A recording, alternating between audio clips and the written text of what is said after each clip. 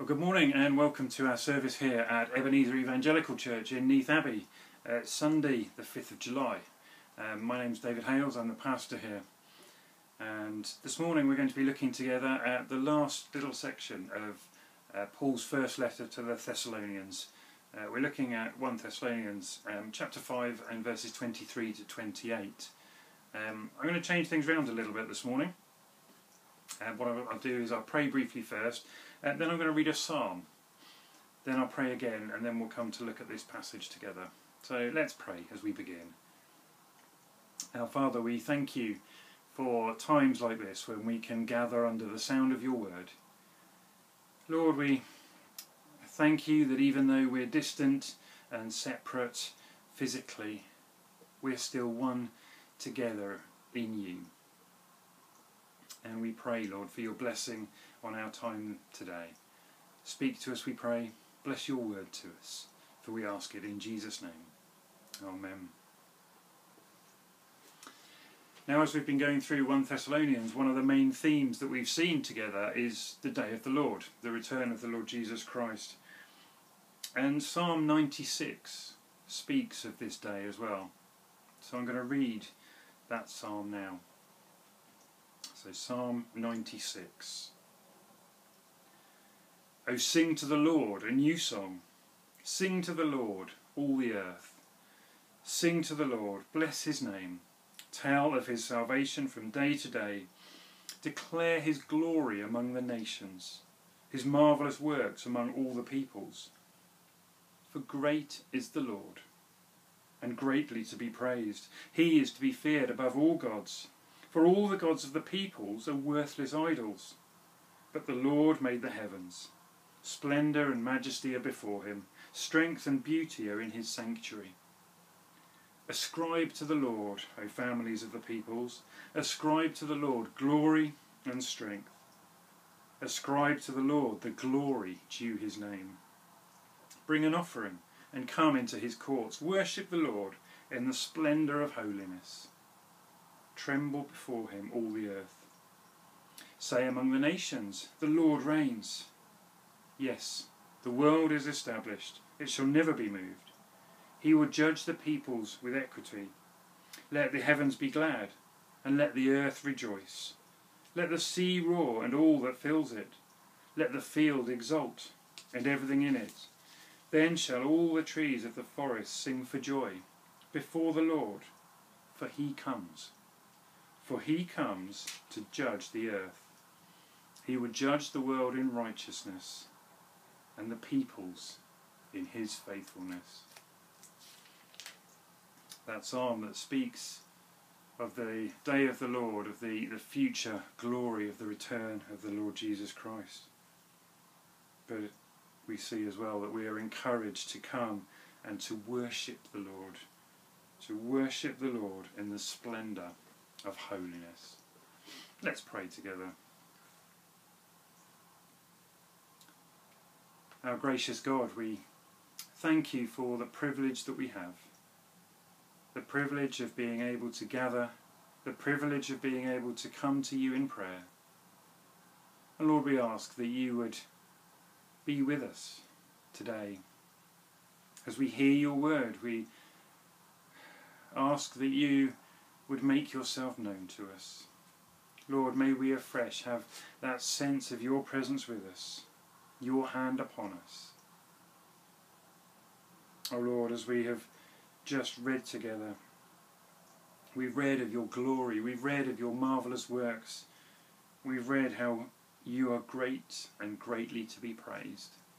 And so, Lord, we do come and we praise you, we honour you for who you are because you are God. In the beginning, you created the heavens and the earth. You have always been. You will always be. Lord, you create all things, you sustain all things.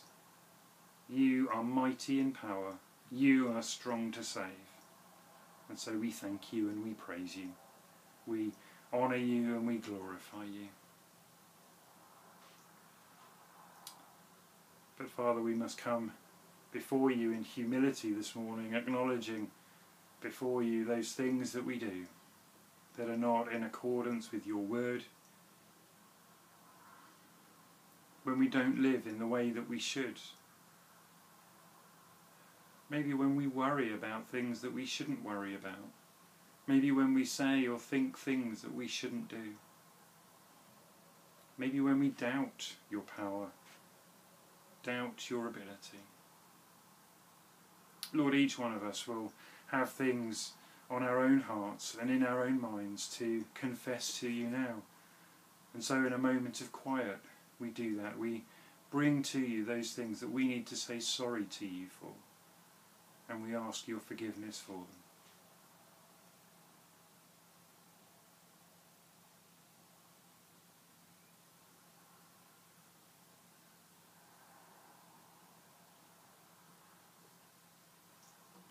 Gracious God, we thank you that you love.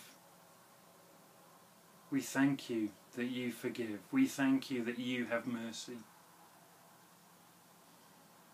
And that is why we can come before you at all today because of your mercy, because of your grace to us.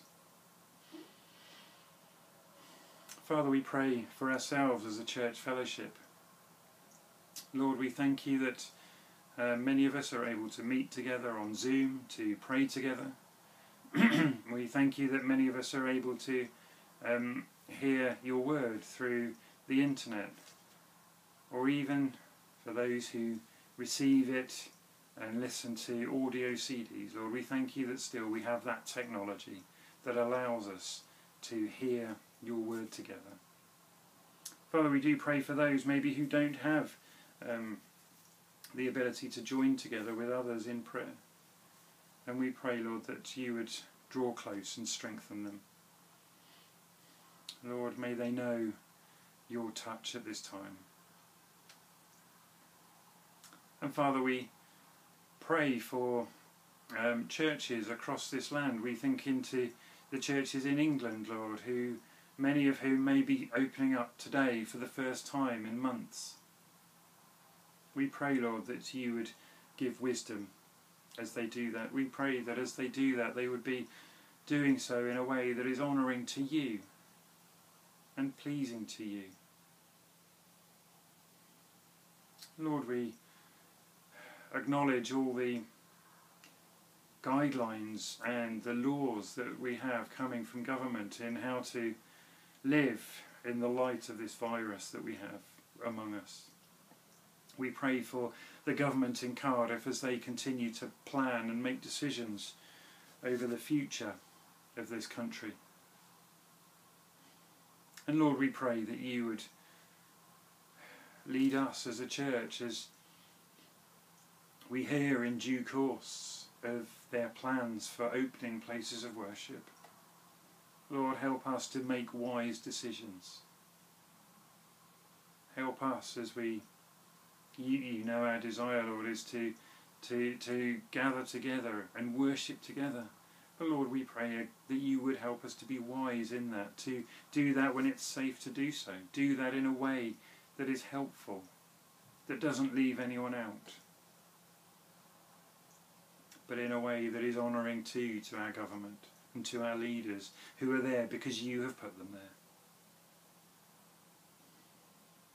Our Father, help us as a church, help us as individuals to be good witnesses for you in how we live, in what we say and do.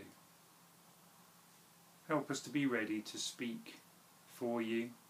Help us to be ready to share with others the, the love that we have for you, to share with others of your glory and of your power and of the need to praise you.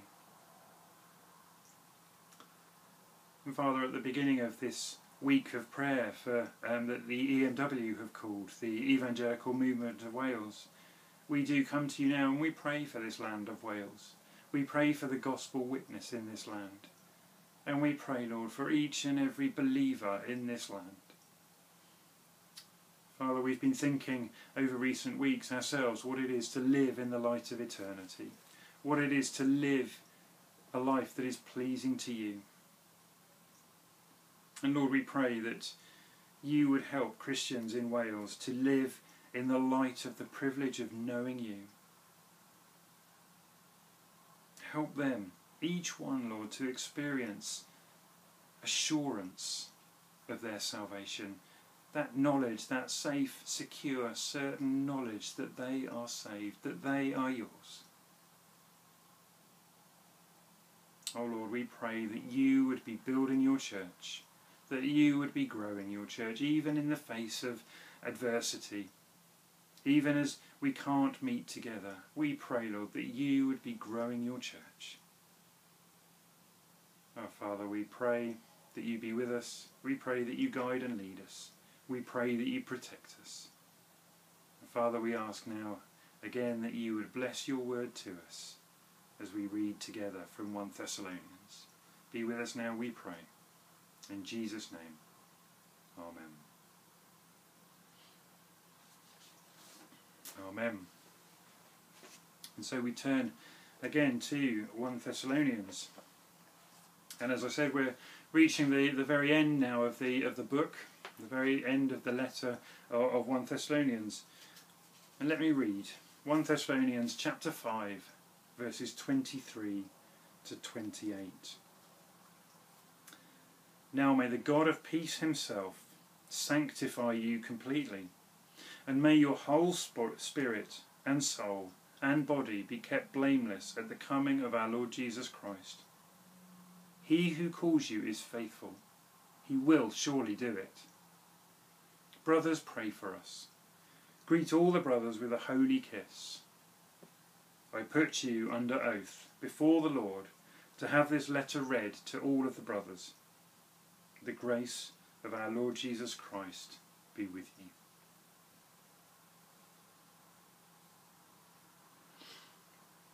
That's the passage that we're looking at together, 1 Thessalonians chapter 5. Now, if you were with us last week, you will remember that we were looking last week at what it is to be a church, what it is to be a gospel church, and, and what that church should look like. And as we finish the letter today, as we come to these last last few words of Paul writing to the church in Thessalonica, we continue on with that train of thought. We consider together two further aspects of the Christian life. And so, as we work through this passage for our headings today, we've got um, three words that end, very loosely speaking, in shun.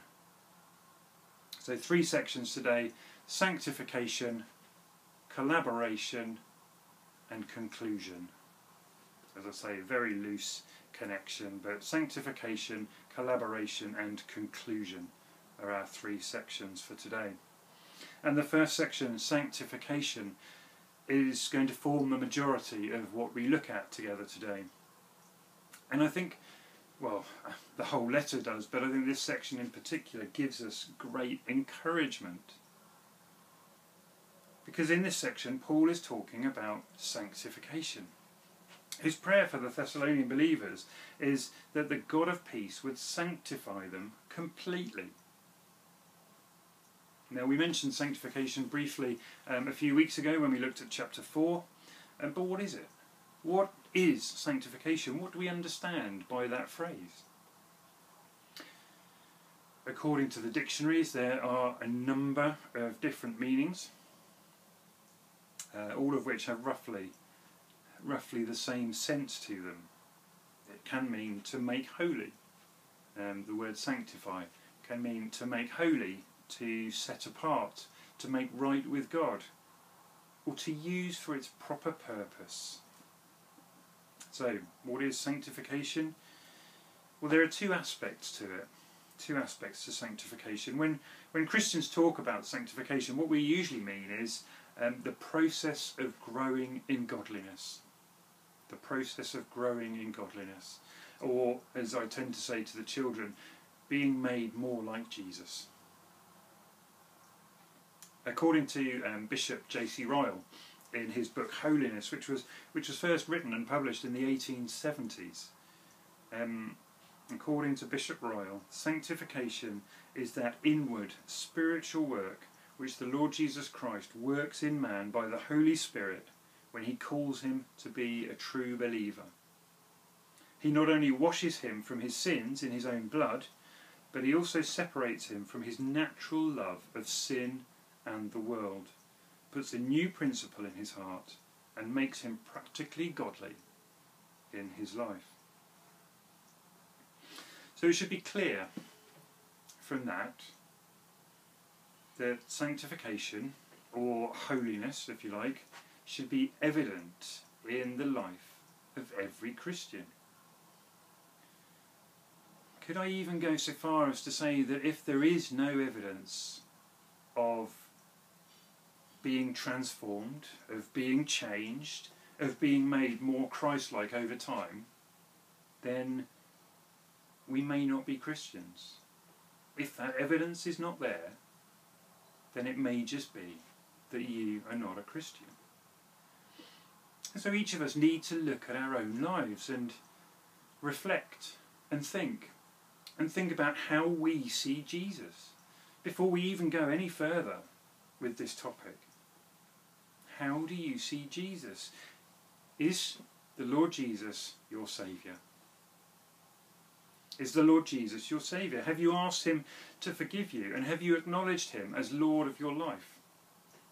If you haven't, then it's unlikely that any of these signs of sanctification will be seen in you and in your life. So the first thing to to think about here, now, pause, pause, pause the talk if you need to, and think about it. Am I a Christian? Am I believing and trusting in the Lord Jesus Christ? Have I asked Him to forgive me? Have I asked Him to cleanse me? As we just thought there from, from J.C. Ryle, the first aspect of sanctification is that your sin is taken away cleansed away by the blood of the Lord Jesus Christ. But what is sanctification? Well, when the Lord, when God spoke to Moses, which is recorded for us in Exodus, the second book of the Bible, in Exodus chapter 29, um, God spoke of holiness and sanctification. The beginning, um, sorry, Exodus chapter 29, verse 42 and onwards says this There shall be a regular burnt offering throughout your generations at the entrance of the tent of meeting before the Lord, where I will meet with you to speak with you there. There I will meet with the people of Israel, and it shall be sanctified by my glory. I will consecrate the tent of meeting and the altar. Aaron also and his sons I will consecrate to serve me as priests. I will dwell among the people of Israel and will be their God. And they shall know that I am the Lord their God, who brought them out of the land of Egypt, that I might dwell among them. I am the Lord their God. So the tent of meeting was sanctified by God. It was made holy by his glory and set apart only for special uses. And that is also the same for us. As Christians, we are set apart for and by God. We're made holy by God. In fact, the Bible teaches us that God saved us in order to make us holy, in order that we be holy. In, in other words, God saved us to sanctify us. We see this, for example, in Ephesians chapter 1, verses 3 and 4.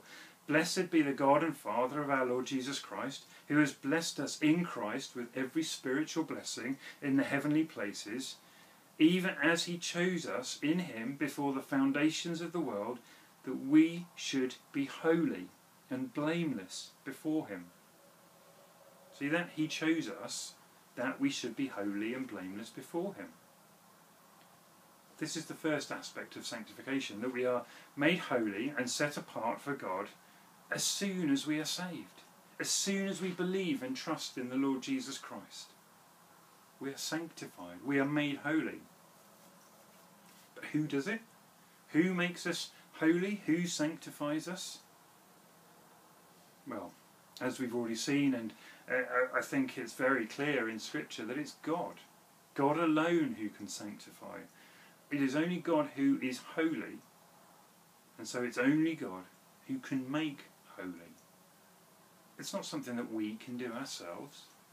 It is God alone who can sanctify. Um, throughout the Old Testament book of Leviticus, we read this repeated phrase I am the Lord who sanctifies. And it's either I am the Lord who sanctifies him or, or them, or I am the Lord who sanctifies you. But each time it's I am the Lord who sanctifies. And 1 Thessalonians chapter 4 verse 3 that we considered a few weeks ago says, For this is the will of God, your sanctification. It's the will of God that ye be sanctified. It is God alone who can sanctify. And we need to point out too that there are not two classes of Christians. There aren't those who are holy and those who aren't. All Christians, all believers are called by God, saved by God, and sanctified by God. All Christians. And that first aspect is that we are sanctified as soon as we are saved. But the second aspect of sanctification, maybe the one that we think of when we think of the word sanctification, is that we are being made more like Jesus, that we are increasing in godliness. And how does this happen?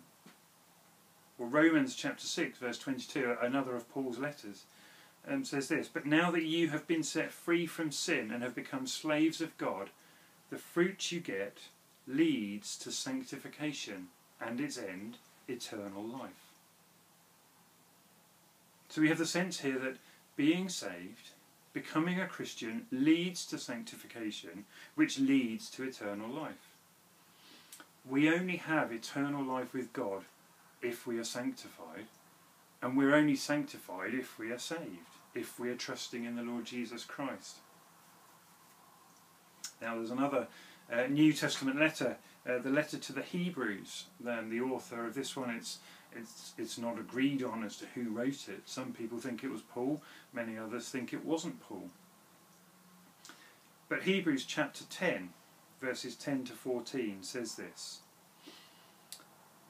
And by that will, we have been sanctified through the offering of the body of Jesus Christ once and for all. And every priest stands daily at his service, offering repeatedly the same sacrifices which can never take away sins.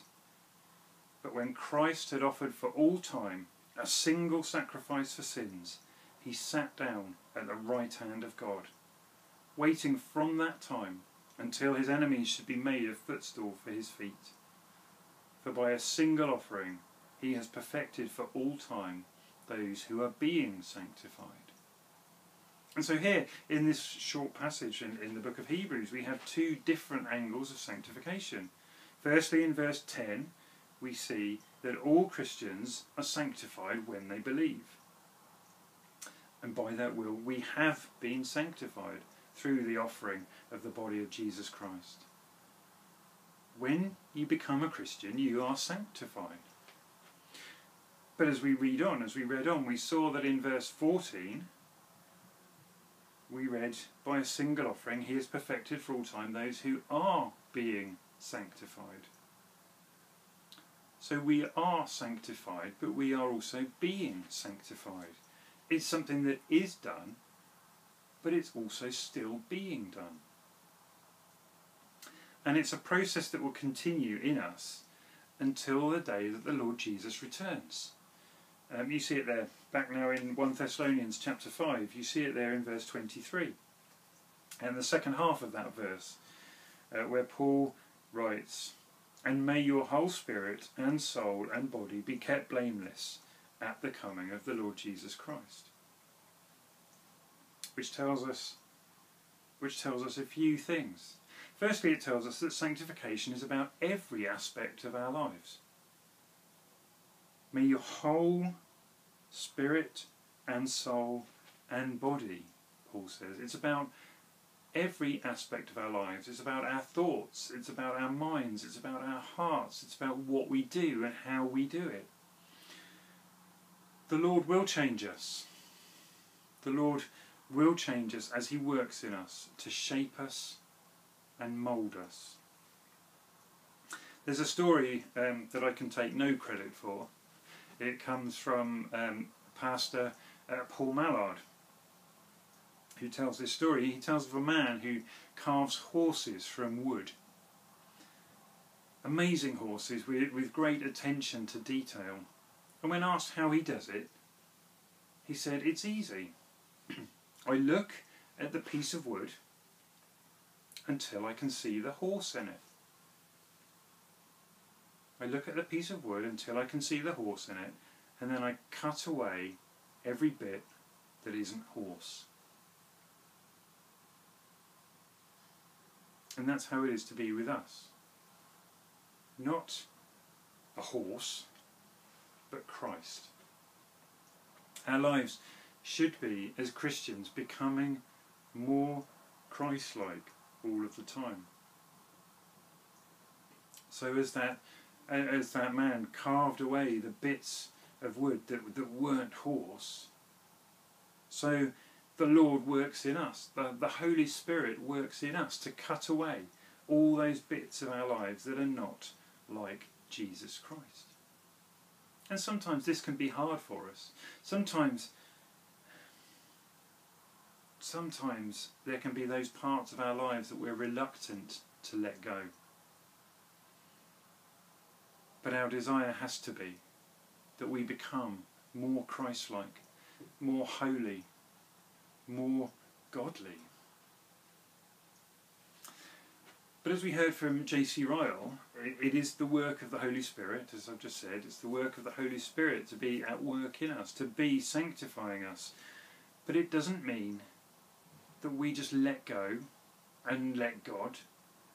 It doesn't mean that we have nothing to do. We also need to work at our sanctification. As we read the Bible, as we pray, as we worship with other believers, as we thought about last week. God works in us. We already had that quote earlier on from J.C. Ryle that God gives us when we become Christians, God gives us a new direction. He gives us new desires. He gives us new principles. And then He works in us through these means of grace, through the scriptures, through prayer, through worship together with others.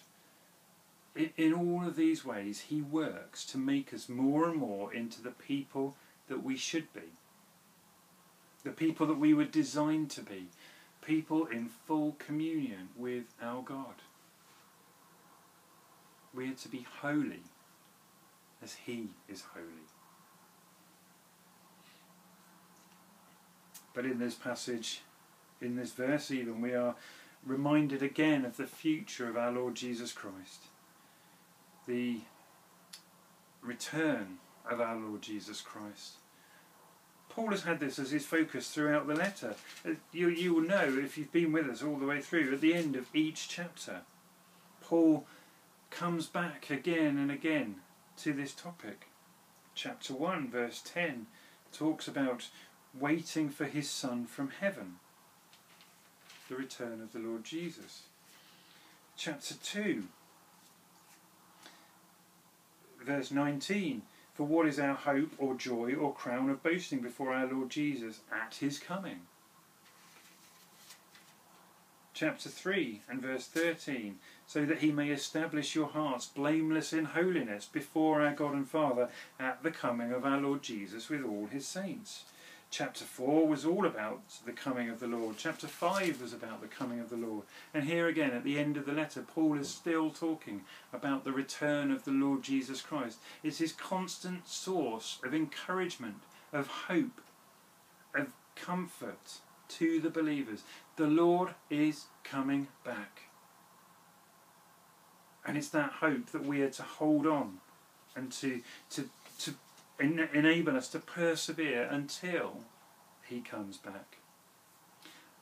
And Paul's prayer for the Thessalonians, and, and it can be our prayer too for each other, is that your whole spirit and soul be kept blameless at the coming of our Lord Jesus. Now, this doesn't in any way, in, in any way, mean that we can be perfect, that we can be blameless before the Lord Jesus comes back.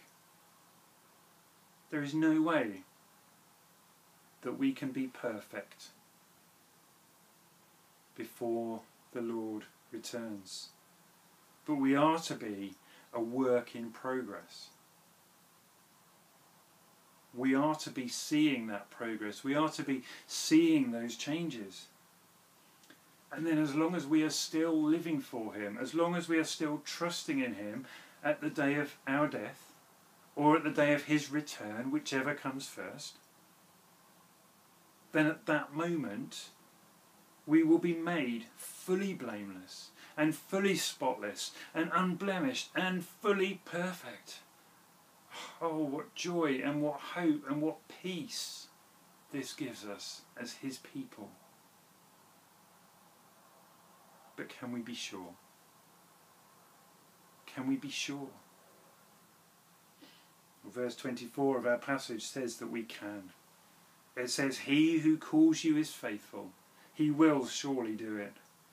And Paul echoes this teaching in his letter to the Philippians as well, when he writes in Philippians 1, verse 6 And I am sure of this, that he who began a good work in you will bring it to completion at the day of Jesus Christ.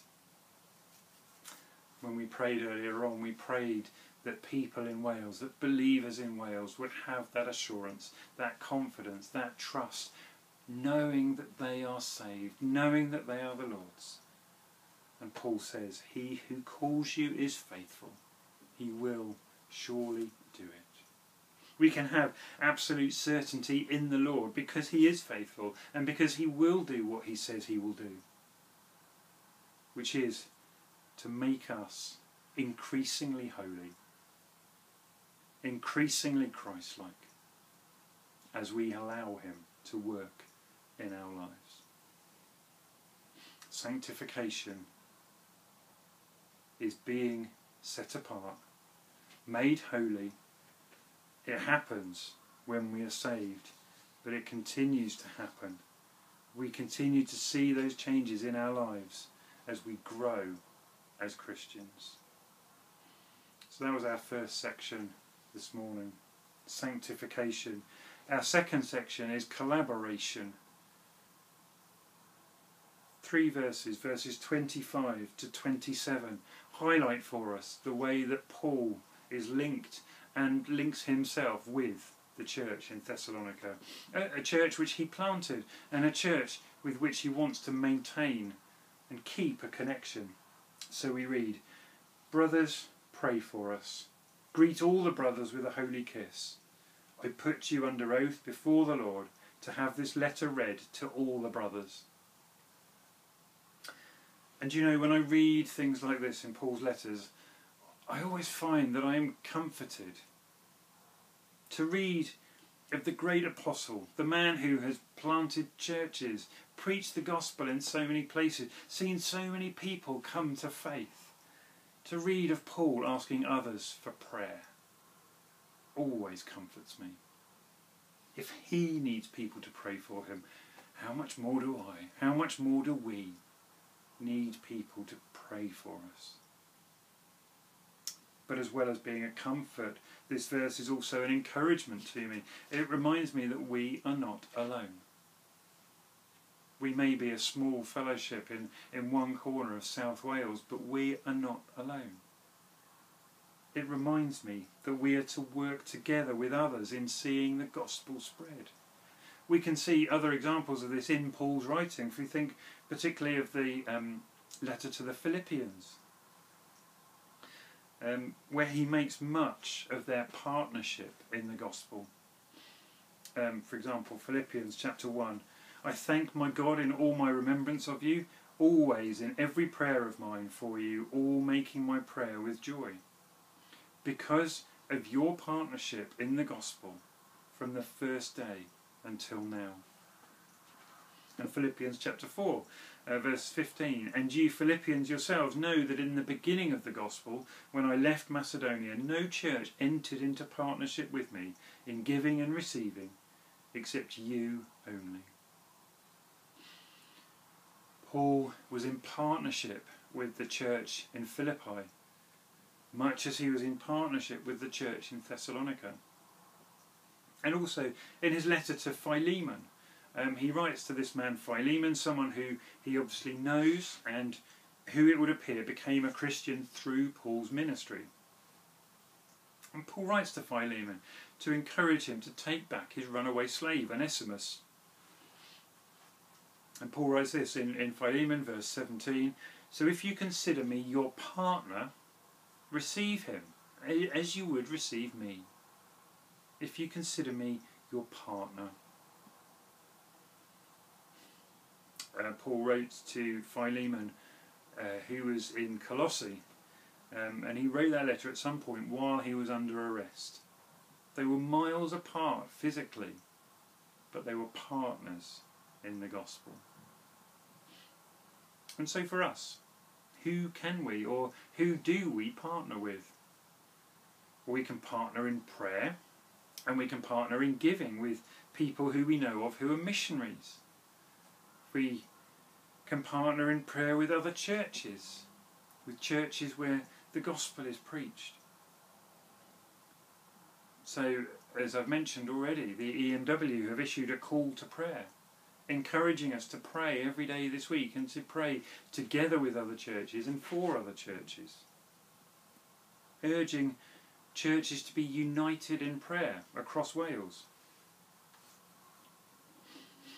And so I would encourage you, if you if you haven't already, have a look at um, EMW's website, emw.org.uk, and you can get the details for the call to prayer.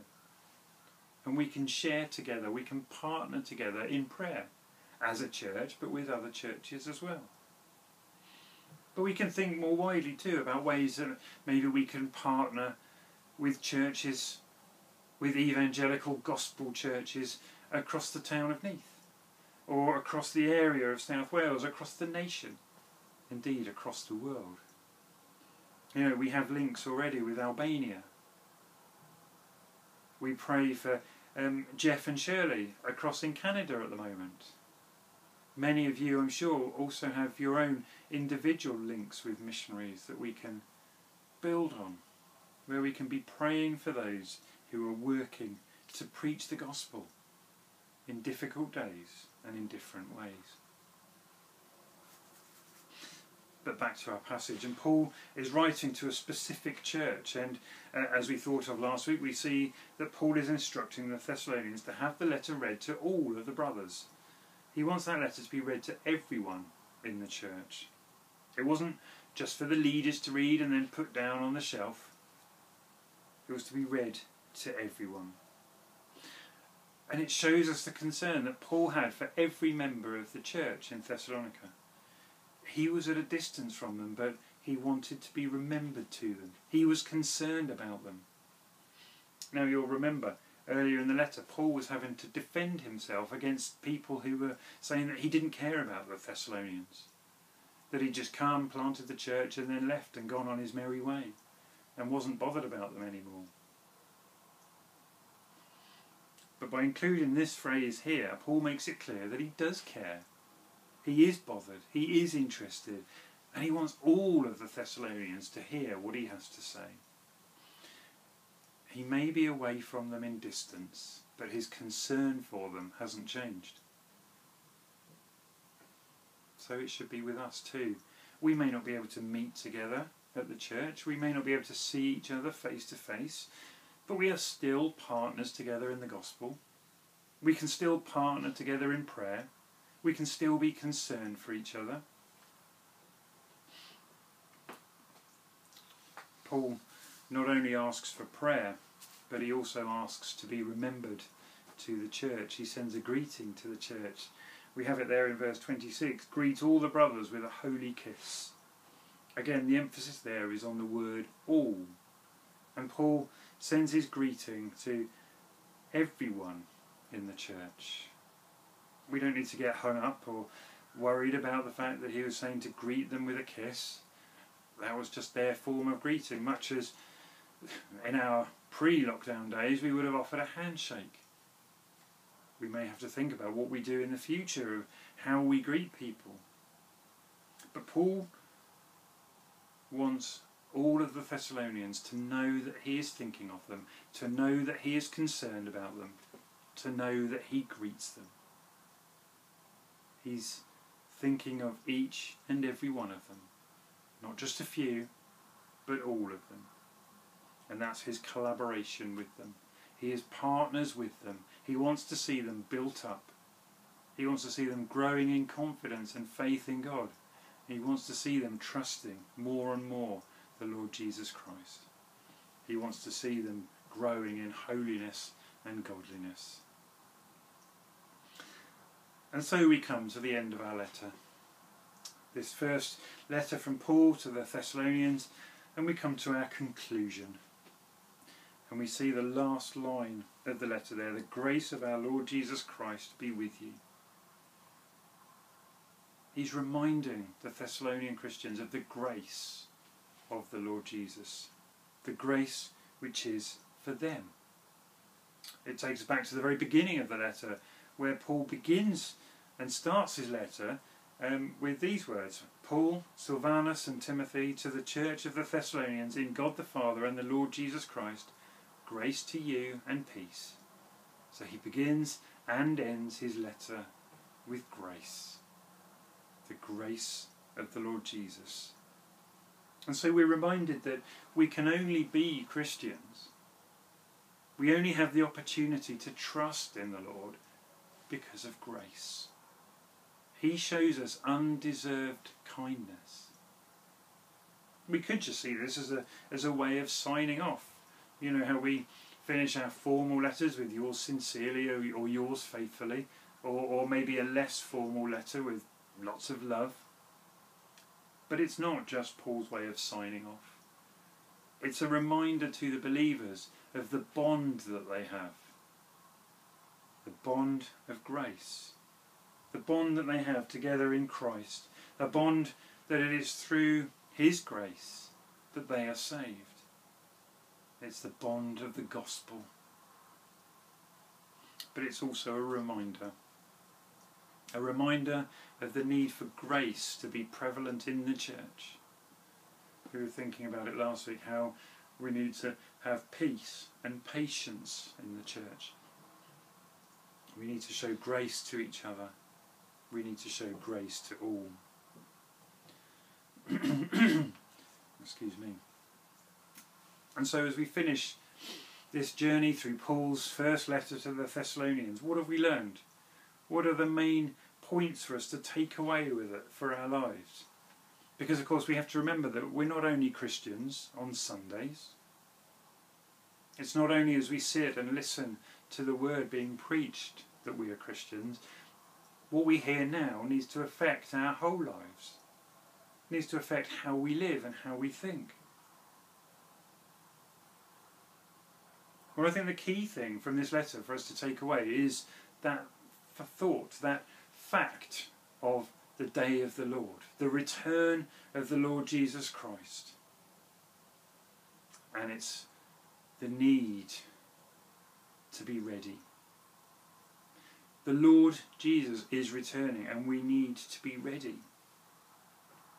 The most important thing in life is for us to be ready before God. To understand that, that the Lord Jesus, the Son of God, died and rose again so that we might have eternal life. He came to show his grace. He came to take the punishment for sin, to pay the price so that we can be forgiven. But here's the thing to be ready for the day of the Lord, to be ready to face the Lord on his return, you have to do something. It's not just enough to know those facts. You have to trust Him. You have to ask Him to be your Lord and your Saviour. And when you do, you have that comfort, that peace, that joy of knowing that you are ready and that you will be ready and that He is with you that God Himself dwells within you and will never leave you and never forsake you, and you can live every day in the light of that peace and joy of being made right with God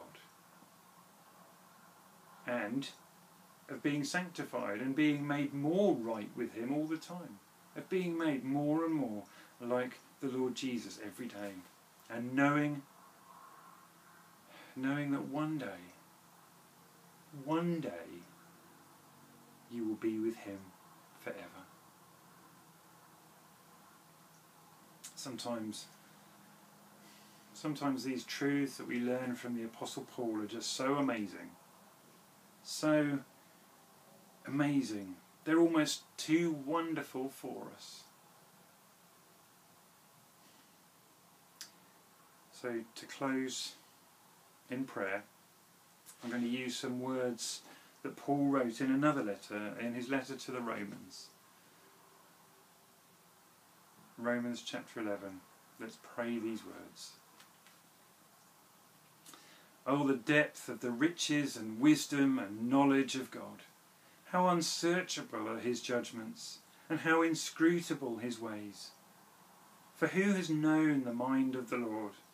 Or who has been his counsellor? Or who has been a, given a gift to him, that he might be repaid? For from him, and through him, and to him are all things. To him be glory forever. Amen.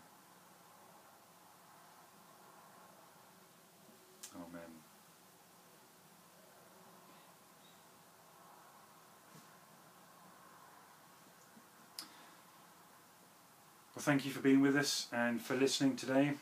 Um, as I've said in recent weeks, um, if you've got any questions about anything that you've heard today, please do make contact with us. Um, use the use the messaging on our, our Facebook page and, and get in touch. Um, I, I, won't be here next week. It'll be Dr. Phil who will be, um, God willing, um, taking our time and, and, preaching for us next week. But for now, thank you for listening, and I hope to see you again very soon.